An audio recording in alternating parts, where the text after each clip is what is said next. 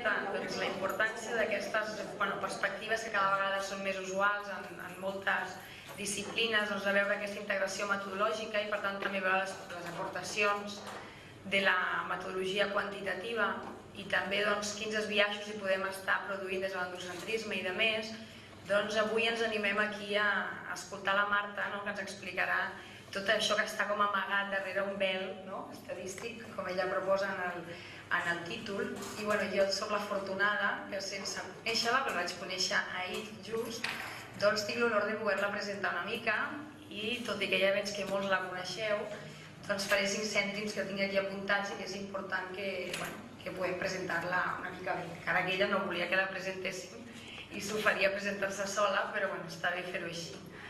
Aleshores, doncs, bueno, la impressió que m'ha donat a mi és que la Marta és molt polifacètica, no? amb una estona de xerrada ja vam veure tota la seva diversitat de trajectòries, no? però bueno, destaca potser, com aquí tinc assenyalat, doncs la demografia com la disciplina en la que potser té una trajectòria més llarga, sobretot amb la seva experiència en el Centre d'Estudis Demogràfics aquí, no? a Catalunya.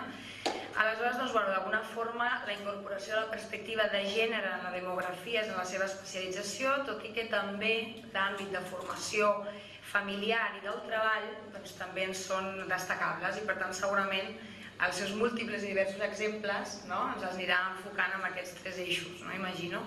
És professora des de fa anys de, de la Universitat del País Basc i bueno, està en màsters relacionats amb el tema que aquí ens interessa i ens ocupa, com és el màster d'Igualtat de Dones i Homes o el d'Estudis Feministes. I si hi ha coses que segur que m'he deixat que són interessants, estic segura que ella mateixa al llarg de la, de la sessió d'avui ens els anirà dient. Eh? Tot teu, Marta. Vinga, mm, molt bona tarda, estic molt contenta d'estar aquí i parlar en castellà, ¿vale? perquè parlo català però bueno, estic una mica desentrenada.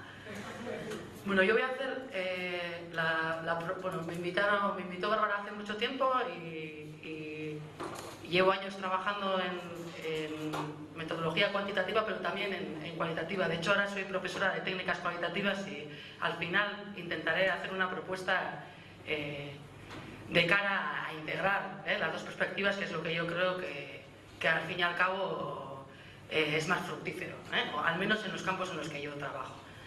Eh, lo del velo estadístico es un préstamo tomado de un artículo de Andreu Domingo, La mujer inmigrada tras el velo estadístico, pero me parece una metáfora muy bonita y que ilustra lo que pasa, qué está pasando o qué pasa con, con la estadística. Es verdad que ayer hablando con ellas me explicaban que seguramente a mucha gente de la que está aquí le interesan más cosas como de microestadística. Yo estoy más acostumbrada, o el trabajo que yo he desempeñado hasta ahora y el que más conozco, y por tanto del que más puedo hablar, tiene que ver eh, con el uso de fuentes, de fuentes estadísticas secundarias, con el uso de fuentes que tú no has diseñado. Eh, de, todas de todas maneras, mañana, eh, con la, como va a haber presentaciones, etcétera, etcétera, yo creo que ahí podemos profundizar más en, esta, en este otro ámbito, cual, qué pasa cuando tú estás diseñando las propias estadísticas con las que vas a trabajar. En principio yo hoy de lo que voy a hablar y la mayoría de los ejemplos que voy a poner tiene que ver con qué pasa cuando estás trabajando con estadísticas que no has diseñado tú o qué tipo de propuestas se pueden hacer eh, para trabajar con estadísticas eh, que tú no eh, controlas. Quiero decir, qué tipo de, propuestas podemos hacer, por ejemplo, pues yo qué sé, al, al IDESCAT o al ayuntamiento de un pueblo para el que estemos trabajando. ¿Vale? Bueno, dicho... ¿Eh? Dicho esto, ¿eh? lo que voy a intentar, y no sé si voy a poder estarme quieta en esta mesa porque me cuesta bastante eso de estar quieta, pero lo que voy a intentar es evidenciar la incidencia de las fuentes de datos cuantitativas en la construcción de la, de la realidad social, es decir, hacer una reflexión sobre ¿Qué son las fuentes de datos? Eh, no hace falta que copiéis porque está colgado, ¿eh? si queréis lo podéis descargar, digo, para que te vea ahí. ¿eh? y también, de alguna manera, ver cómo a veces a veces la estadística está, construyendo realidad social, pero a veces el imaginario social también está determinando de qué manera ¿eh? recoge los datos la estadística, que tiene más que ver con el imaginario social que no con los procesos que está viviendo la sociedad eh, que queremos investigar o la sociedad en la que estamos inmersas. Y la segunda cuestión sería reflexionar sobre la incidencia de la, epistemología feminista en la metodología cuantitativa, tanto desde una perspectiva más teórica como desde una más práctica. ¿eh? La verdad es que eh, creo que voy a hacer mejor lo de la práctica, pero intentaré bueno, pues también apuntar algunas reflexiones teóricas. Para empezar, os propongo un ejercicio, no para hacer a solas, sino con quien tengáis al lado, que es, si podéis pensar en un eh, corto espacio de tiempo, un breve espacio de tiempo, sobre tres cuestiones. ¿eh? Es también para situarme yo un poco en dónde estáis, qué sabéis, qué no sabéis, y a partir de ahí poder hablar. La primera cuestión sería sobre los datos, ¿no? ¿Qué tipo de relación tenéis con los datos estadísticos? ¿Cuál es ese dato estadístico que siempre quisisteis saber y nunca encontrasteis? ¿Eh? Que, que, te gustaría ver ¿eh? por algo, ¿eh? y, si, y también me gustaría saber por qué. ¿eh? Ese dato que siempre eh, quisiste saber y nunca encontraste. Eh, si os parece que los datos estadísticos aparecen desglosados por género adecuadamente y, y, si creéis que tal y como aparecen desglosados es suficiente, una cosa así. La segunda cuestión sería mirar las fuentes, qué fuentes conocéis, con cuáles habéis trabajado y si, conoces algún si conocéis algún, algún ejemplo de transformación, es decir, de una, alguna fuente que por alguna cuestión eh, haya cambiado, sea porque se ha incorporado una perspectiva de género de la que antes carecía, sea porque, por cualquier otra cosa, ¿vale? Y lo último eh, sería sobre la producción estadística. ¿eh? ¿En manos de quién está?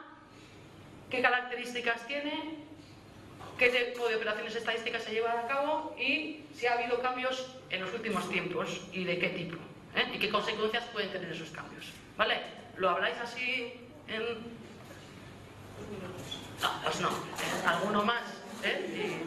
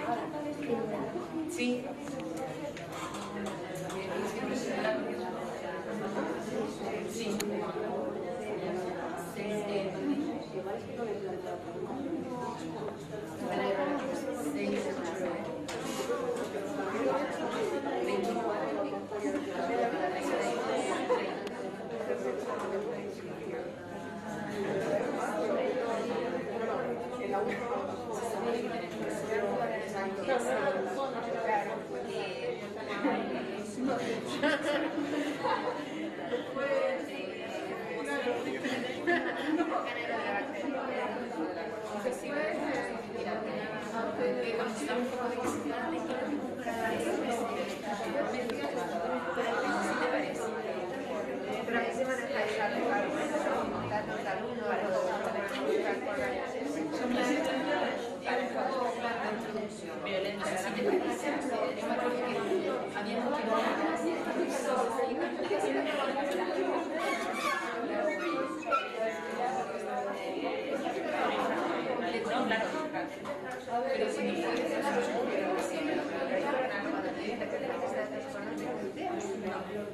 Gracias.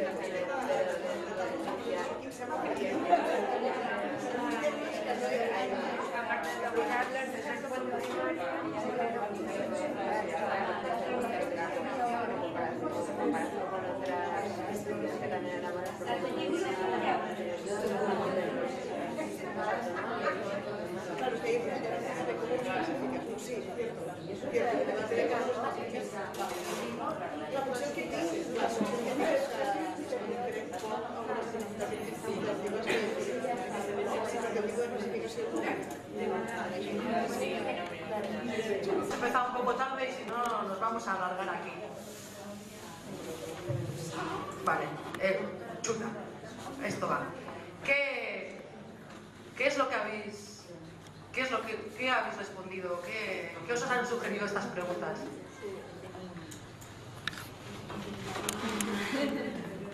¿Alguien se anima a hablar? ¿Hay algún dato que alguien eh, haya toda su vida querido encontrar y nunca haya encontrado? ¿O hay algún tema en el que pensáis que, bueno, que no existen datos que os gustaría que existiesen por alguna razón? O al revés, incluso hay algunos datos que querríais hacer desaparecer del mundo.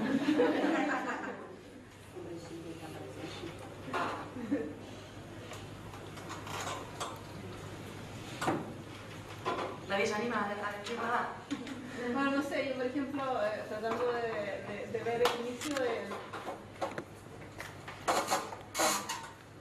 Tratando de hacer un poco historia, historia de la ciencia actual y viendo el origen, por ejemplo, de la carrera de farmacia, tratando de buscar quiénes eran los primeros estudiantes, quiénes entraron, no está desagregado por sexo, o sea, no puedo saber si había mujeres, había hombres, y es una cosa inaccesible, sea, que no existe y ya parece que me tengo que resignar a que no hay manera. Por ejemplo, ¿tú tenías otra cosa? Bueno, yo simplemente relacionada con mi trabajo, yo elaboro estadísticas, formo fuente primaria de datos, trabajo en el Consejo Judicial y elaboramos estadísticas de malos tratos. Entonces, uno de los datos que no hay manera tampoco de incorporar en la, en la estadística judicial es la de malos tratos en parejas del mismo sexo. Y a pesar de que está el matrimonio legalizado y demás, no hay manera que se incorpore eso en la, en la estadística. Y tampoco los encuentro en, en- en sea donde sea que busco, ¿no? En fuentes.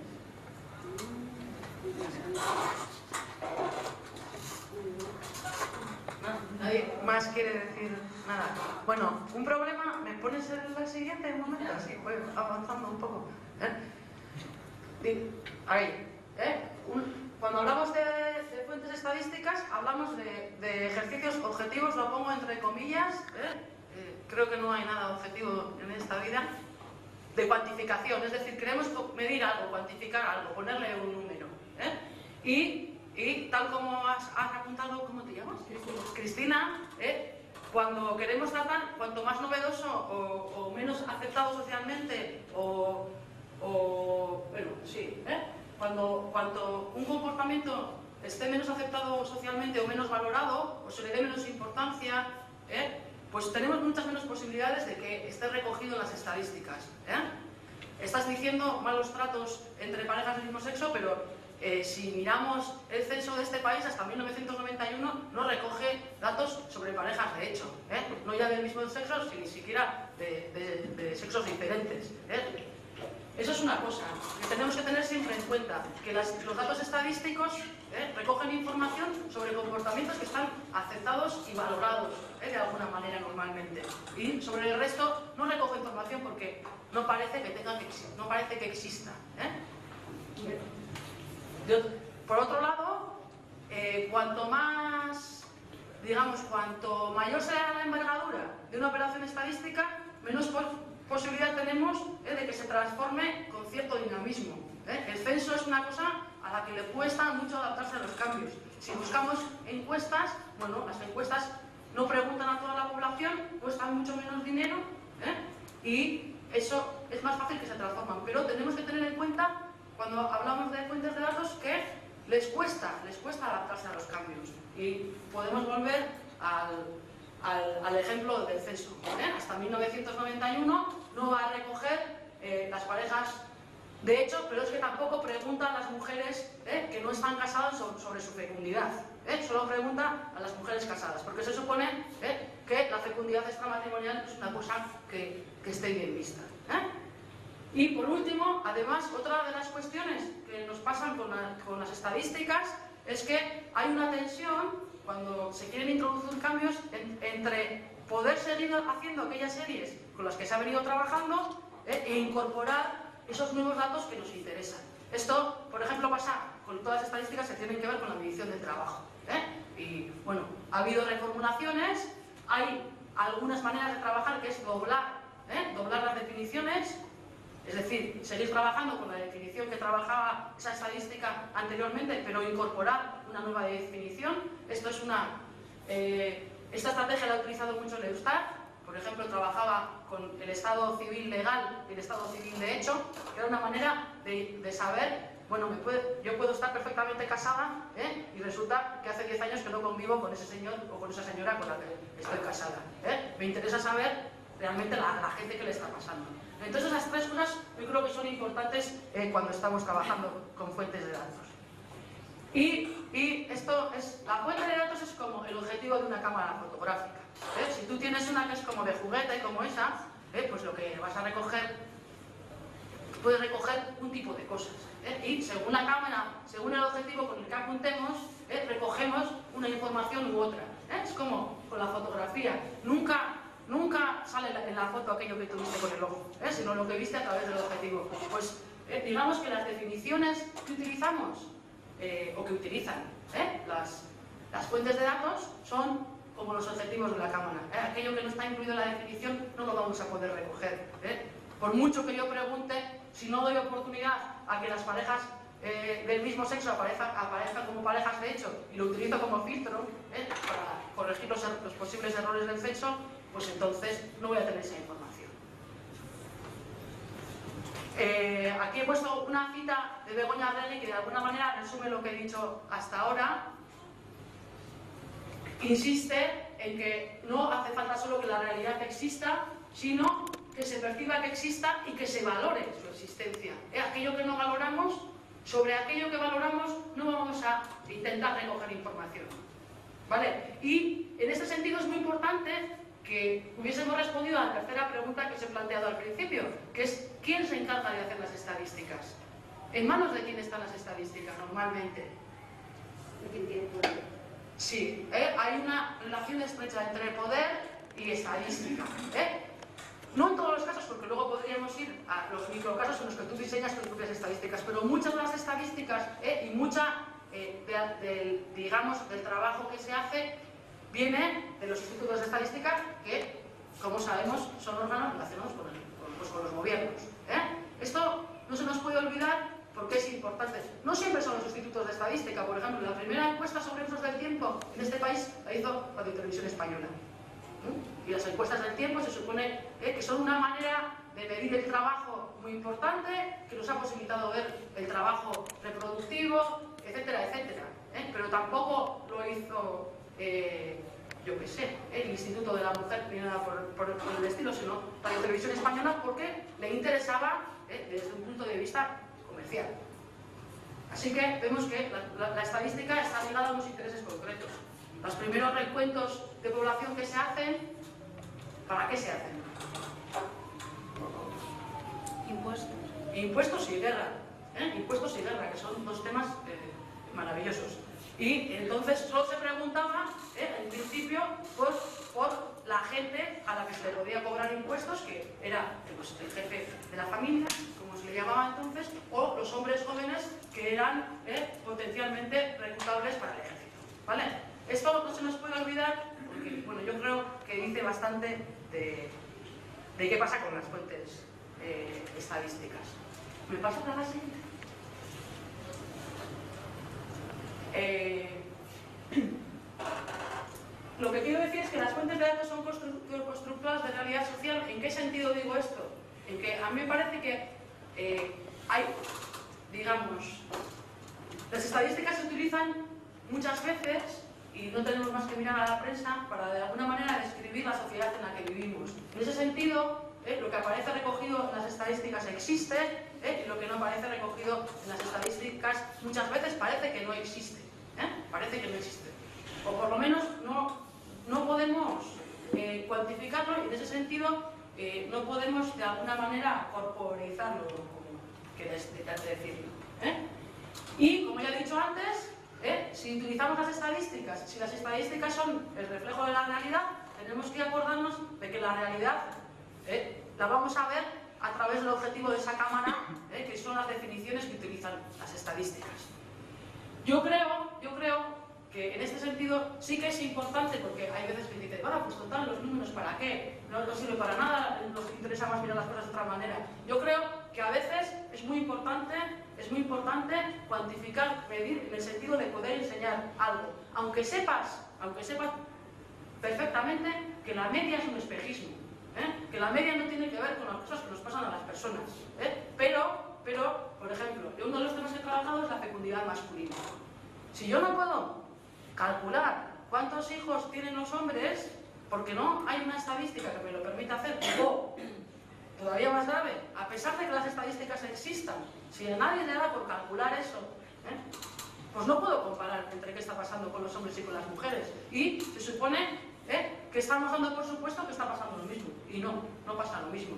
Si yo no puedo, no tengo ninguna fuente que me permita contabilizar qué está pasando, cuántas horas invierten mujeres y hombres en el trabajo eh, reproductivo y en el trabajo productivo, no puedo poner un gráfico que no he traído, pero que podría poner así, en el que se ve ¿eh? que las mujeres trabajan mucho más en el o sea, invierten muchas más horas de trabajo en el, en el ámbito reproductivo, incluso aunque sean estudiantes. ¿eh? Ya hay eh, diferencias notables. Entonces, yo en este sentido sí que creo que merece la pena hacer un esfuerzo por, sabiendo qué pasa con las fuentes de datos, sabiendo que son criticables, intentar eh, construir e intentar aportar definiciones nuevas para trabajar de otra manera.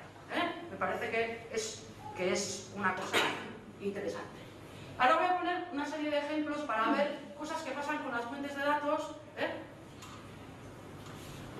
Antes he hablado de la relación entre el imaginario social y las fuentes de datos, ¿no? Y el, ejemplo que voy a poner es de cómo la autoadscripción a la categoría amas de casa sin que hubiese cambiado nada. ¿eh? Hablaremos más tarde eh, sobre esto, pero hay un momento en el que, en el que eh, parece que lo que les toca hacer a las mujeres es dedicarse al trabajo doméstico. ¿eh? Y hay un momento en que en el censo, que se supone que tú dices, tú defines qué trabajo estás haciendo, ¿eh? tú decides si eres ama de casa o no, un montón de mujeres que hasta entonces aparecían en otras casillas, ¿eh? aparecen como amas de casa, pero no es porque hayan dejado de ir a la huerta o hayan dejado de, de mantener huéspedes en su casa, ¿eh? que serían trabajos que tienen que ver con la esfera productiva y que están de, alguna manera garantizando los ingresos familiares. No, no es por eso, sino porque ¿eh? parece que socialmente se supone que lo que les toca hacer es ser amas de casa. ¿eh? Esto es una cosa que pasó a, a, principios del siglo XX en este país. ¿eh? Es un, un, ejemplo, podríamos pensar otros. Bueno, hay un montón de ejemplos. Los cambios legales y las fuentes de datos. Eh, de eso igual Edurne nos puede decir algo, pero ¿eh? si hubiésemos una gráfica en la que reflejásemos cómo cambia el volumen de personas eh, extranjeras en, en- este país, muchas de las subidas y bajadas que vemos tienen más cambio, tienen más que ver con cambios legales que no con qué realmente está pasando con la gente. Otro ejemplo típico es en Suecia, de repente hay un año en que la tasa bruta de denunciabilidad, ya sabéis que Suecia es un país que se destaca, ya siento que todos mis ejemplos sean demográficos o casi todos, pero es de lo que sé, ¿eh? que Suecia es un país en que la gente no ha destacado eh, tradicionalmente, o sea, eh, históricamente, quiero decir, no tradicionalmente, por casarse. ¿eh? Y la cohabitación es una cosa que viene de antiguo. Pero entonces de repente hay un año que hace la tasa bruta de denunciabilidad, ¡pumba! ¿no? Pega un salto. Y dices, ¿qué ha pasado aquí? Le ha a todo el mundo por casarse. Y hay un cambio, hay un cambio legal que tiene que ver con la manera de heredar. ¿eh? Y entonces eso hace que un montón de gente tome la decisión de casarse. ¿Por qué? ¿Eh? Pues le sale más rentable. ¿eh? O porque, bueno, una estrategia vital, ¿eh? por si a alguien le pasa algo, pues que la otra persona quede más protegida. Vale. Y otra cosa que no se nos puede olvidar es, que tiene que ver con las dos anteriores, pero quería hacerla explícita, es la relación que hay entre la situación sociopolítica y las fuentes de datos. En este país también es, eh, es rico en ejemplos porque, eh, bueno, se vivió una dictadura y... eh, ya lo voy a decir. Digamos que el Código Penal franquista estuvo en vigor cuando ya había cuando ya no existía el franquismo y tuvo repercusiones en cuestiones que tienen que ver con la recogida de datos. Y una de esas es, por ejemplo, lo que pasó con la encuesta de fecundidad de 1977. En 1977 estaba en vigor el Código Penal anterior y en el Código Penal anterior hablar facilitar información sobre métodos anticonceptivos era una cosa que estaba penada. ¿eh? Entonces, las encuestas estas de fecundidad, no voy a meter aquí un rollo larguísimo, pero las encuestas de fecundidad son, una- son unas encuestas que se hacen a nivel mundial y que lo que intentan es recoger datos que sean comparables. ¿eh? Entonces, tienen que, digamos, que seguir estrategias eh, similares. Y una de ellas es que cuando tú dices eh, condón, explicas que es un condón, por si acaso alguien le llama preservativo o le llama de otra manera. Y cuando dices DIU, explicas en qué consiste el método. Esta encuesta de 1977 no explicaba nada porque estaba prohibido. ¿eh? Estaba prohibido. Pero además, no sé si sois conscientes de que uno de nuestros deberes como ciudadanas es responder a los institutos de estadística. ¿eh? Luego una cosa es que tú abras la puerta o no, pero, ¿eh? pero uno de los deberes que tenemos como ciudadanas es responder a los institutos de estadística. Esta encuesta, en cambio, ¿eh? En el caso de esta encuesta, no fue así. Quien no quería estaba exenta de responder. ¿Vale?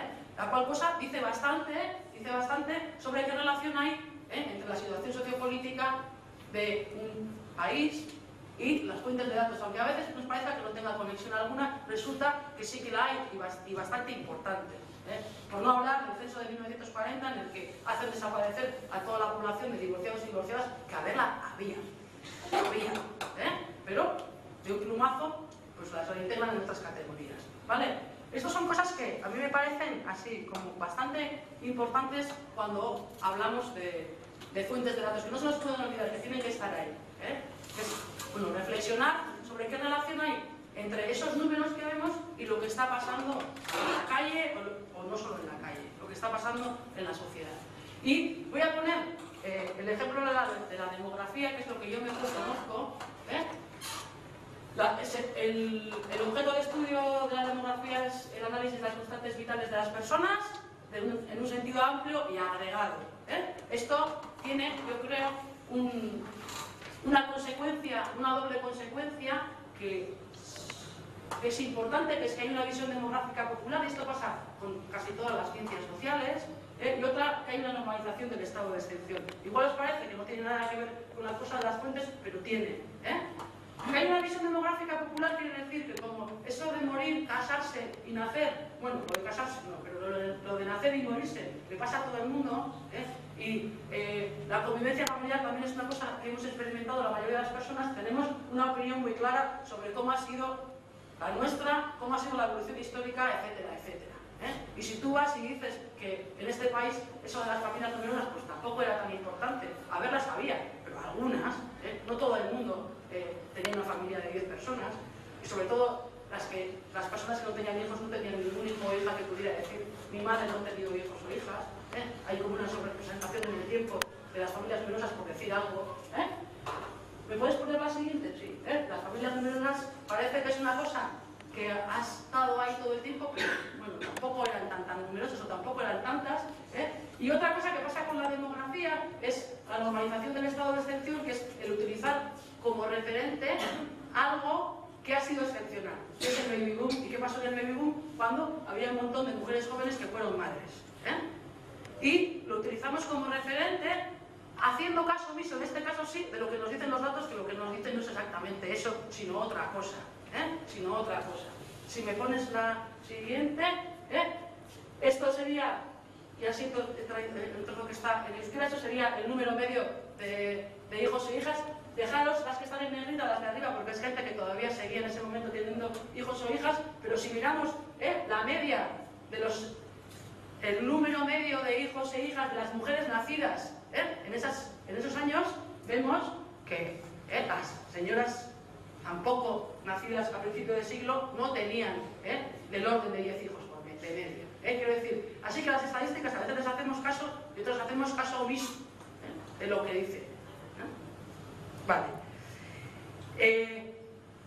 y, bueno, quería hablar sobre la fecundidad masculina porque la demografía nos sirve también como ejemplo de una cuestión que creo que os puede interesar de este cómo el que se pregunte a las mujeres sobre su comportamiento no garantiza que se incorpore una perspectiva de género. ¿eh? Porque resulta que solo estamos preguntando a las mujeres qué les pasa, pero como si ellas estuviesen allí solas y no hubiese nadie más alrededor, no solo eh, sus compañeros o posibles padres de sus criaturas en este caso, sino bueno, otra gente que puede intervenir y que, y que influye en las decisiones. Tal y como está planteado dentro de la demografía, el que no se pregunte a los hombres qué demontre pasa con su fecundidad, es decir, en el censo ¿eh? se preguntan a las mujeres, pero no se pregunta a los hombres qué pasa con su fecundidad, cuántos hijos hijas han tenido. Las cuentas de fecundidad solo están dirigidas a mujeres.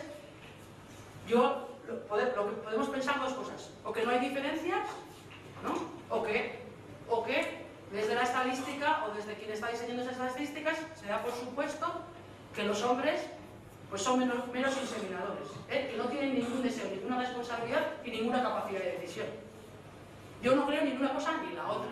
¿eh? Y además me parece que, que desde la demografía justo se apunta a lo contrario. Cuando estamos, eh, por ejemplo, estudiando las pautas de, formación de la pareja, miramos las características de hombres y mujeres. ¿Por qué no el caso de la fecundidad no? Digo, para poner un caso, un ejemplo ¿eh? en el que solo miramos a las mujeres, pero con eso no garantizamos que se incorpore la perspectiva de género, porque no sabemos qué está pasando con, los hombres. Y yo creo que si queremos entender, por ejemplo, qué está pasando aquí y ahora eh, con los comportamientos reproductivos, necesitamos preguntar a los hombres y a las mujeres. ¿eh? Vale, bueno, esto es igual.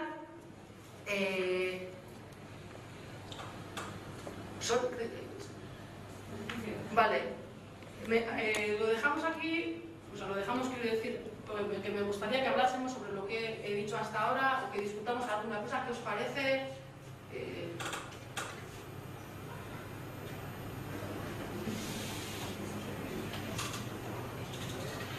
¿Hablo muy rápido? Sí. Quiero decir, a mí lo que me parece importante es, sí, eh, que pensemos en que, en que a ver, cómo, a ver si soy capaz de, explicarlo. Que yo creo que es necesario trabajar desde una perspectiva cuantitativa, eh, incorporando eh, una, desde una metodología cuantitativa, incorporando una perspectiva de género, es necesario porque no se porque hay en muchas cosas, en algunas cosas se hace, pero en muchas cosas no se está haciendo y para eso es necesario hacer también una crítica de las fuentes con las que trabajamos y, e intentar, e intentar proponer definiciones diferentes y también intentar construir indicadores diferentes, que sobre eso hablaré más adelante.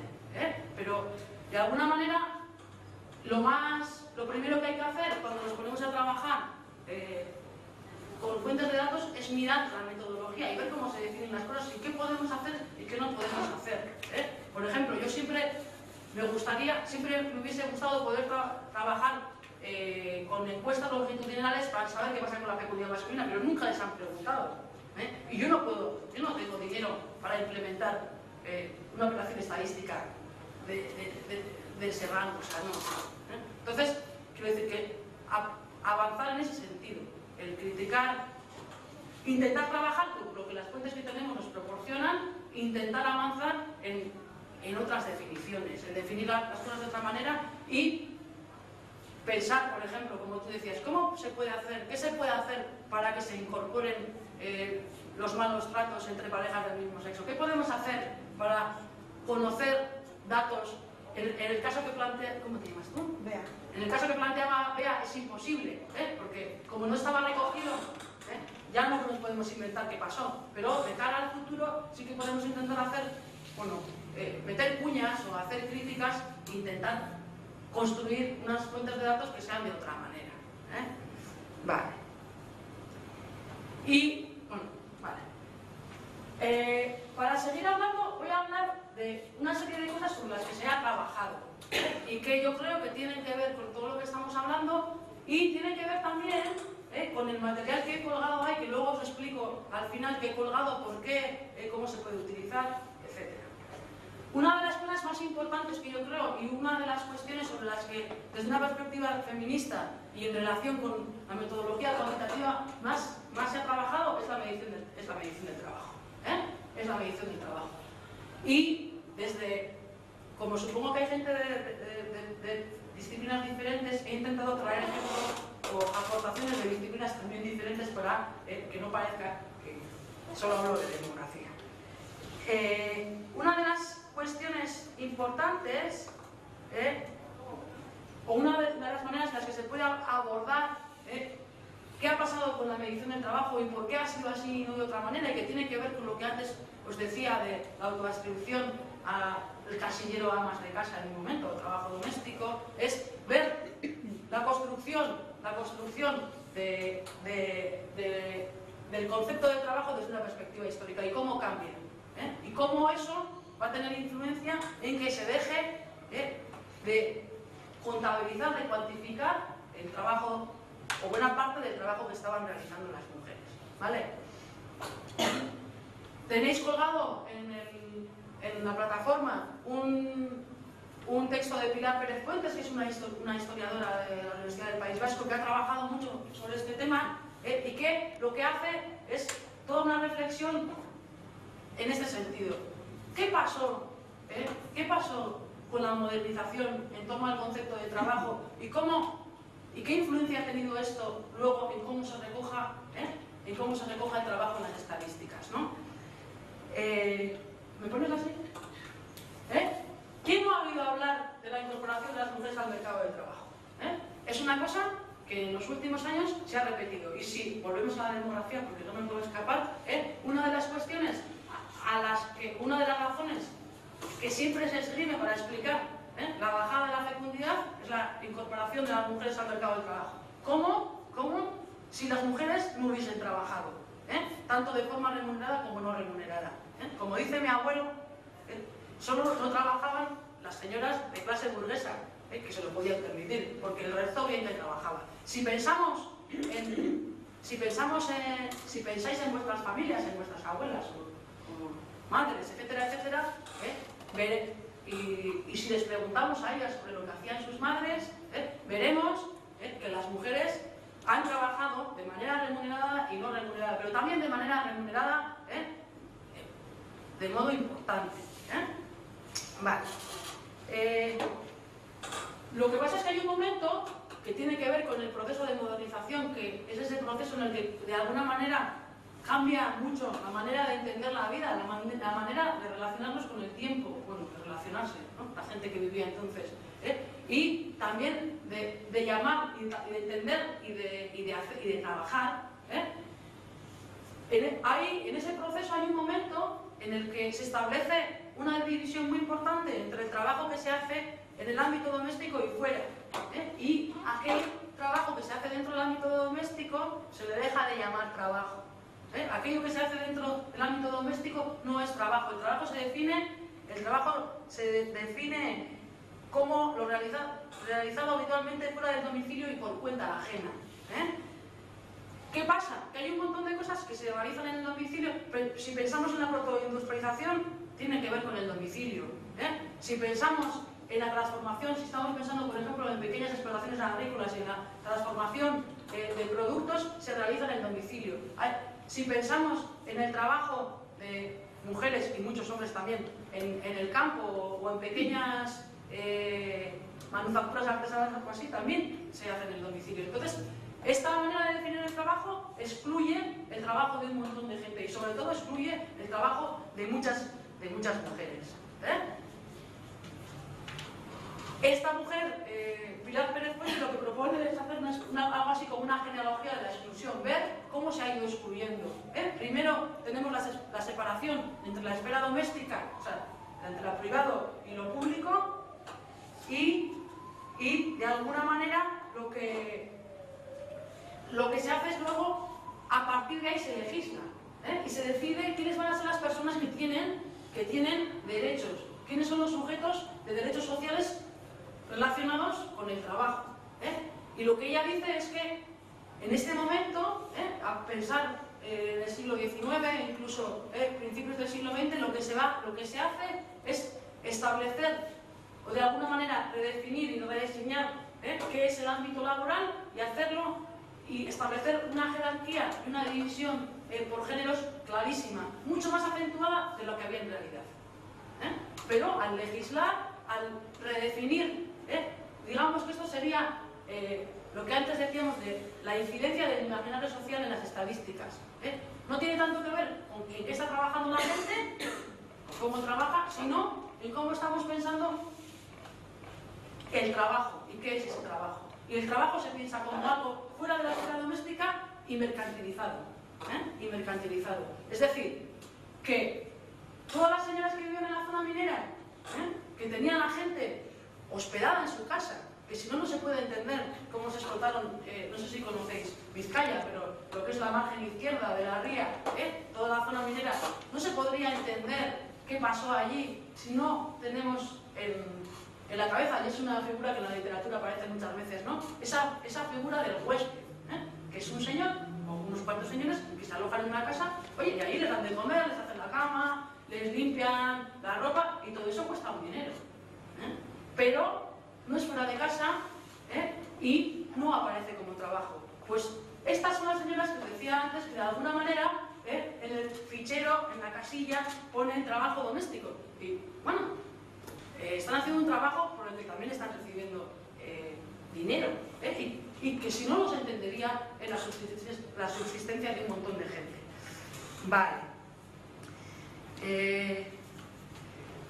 Además, además, eh, no solo es eso, sino que tiene otra consecuencia esta, esta cuestión de la, división entre la esfera doméstica y, la esfera en la que se supone que se trabaja. Que antes había muchas eh, actividades que se podían simultanear y que ya se van a dejar de poder simultanear. Es decir, que incluso eh, esta separación y el entenderlo así lleva a que posteriormente se establezcan unas pautas de, traba- de trabajar femeninas diferenciadas porque eh, ya no se pueden sim- simultanear actividades que hasta entonces eh, se podían ah, haber simultaneado. Bueno, eh, esta señora lo que hace es mirar cómo se va transformando en el censo, cómo se recoge la información, y nos dice, y nos dice, y eso es una cosa sobre la que Luna también nos hablará mañana, yo creo, ¿no? Pues porque ella ha trabajado con los censos. de ¿Qué, qué recoge, qué no recoge, qué nos dice, qué no nos dice? ¿eh? Cuando hablamos del censo, y si volvemos a, la metáfora de la cámara, ¿eh? cuando tú hablas de información censal, lo que piensas es en una foto, ¿no? Es, cojo, saco la cámara, hago una foto de quienes estamos aquí, ¿eh? y además, bueno, pues así sé cómo va vestida cada cual. Bueno, hago el censo y pregunto y sé las características de la población en relación a, a, bueno, pues a unas cuestiones básicas, ¿eh? como son la edad, el sexo, el nivel de instrucción o la relación eh, la relación con el mercado laboral. Depende de cómo pregunto, voy a saber unas cosas u otras. ¿eh? A veces, eso, lo que recojo no es tanto qué está pasando como, como lo que yo, como lo que la definición me permite recoger. ¿eh? Y, y lo que... ah, bueno, estos serán algunos ejemplos para ver cómo, por ejemplo, ¿no? toda la transformación esta que se hace de la mermelada, resulta que si yo la voy a comercializar ¿eh? y la vendo es trabajo, pero si la hago en mi casa ¿eh? no es trabajo. Si, si la comercializo depende de qué manera es trabajo y si no, ¿eh? si es en el mercado negro, por llamarlo de alguna manera, pues no. Y lo mismo pasa, lo mismo pasa con el trabajo agrícola. ¿eh? Depende de cómo... eh, Ahí pone un ejemplo, hay un ejemplo muy bonito de unos pueblos de, de Vizcaya en los que a principios del siglo XX, ¿eh? a la misma pregunta aparecen unas tasas de ocupación femenina en unos del 5% y en otros del 40%. Entonces dice, eh, eh, es imposible, son pueblos muy similares, con unas características similares. Esto tiene que ver, según esta autora, con hasta qué punto esas mujeres están, están adoptando o están más cerca de esa idea de modernidad y de esa idea de cómo va a ser la vida, el trabajo y la sociedad, que tiene más que ver con la modernidad que con lo que había venido siendo hasta entonces. ¿eh? Entonces, bueno, esto sería una reflexión así para, para de alguna manera pensar ¿eh? cómo eh, desde la historia se ha hecho una crítica a todo lo que es la construcción, la construcción de la, de- la idea del trabajo y, y, desde una perspectiva feminista, es decir, cómo, cómo el no eh, incluir o el no ver qué está pasando con las mujeres y cómo están trabajando, o cómo el definirlo de esa manera las, las excluye ¿eh? de antemano. Quería haber dicho antes una cosa que se, se me ha olvidado, ¿eh? que es, que es, cuando hemos hablado de las fuentes de datos, hemos dicho que son constructoras de realidad social, ¿vale? Y, hemos hablado de las encuestas del tiempo, ¿eh? Pensar en las, las encuestas de usos del tiempo, presupuesto del tiempo, ¿eh? Y en otra cosa que se utiliza también, que son eh, las cuentas